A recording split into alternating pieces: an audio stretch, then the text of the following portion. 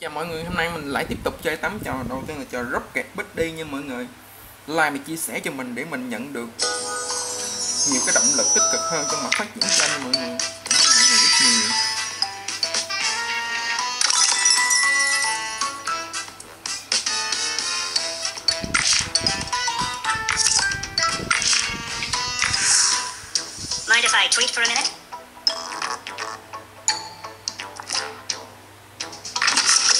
ပါပြဘူးရ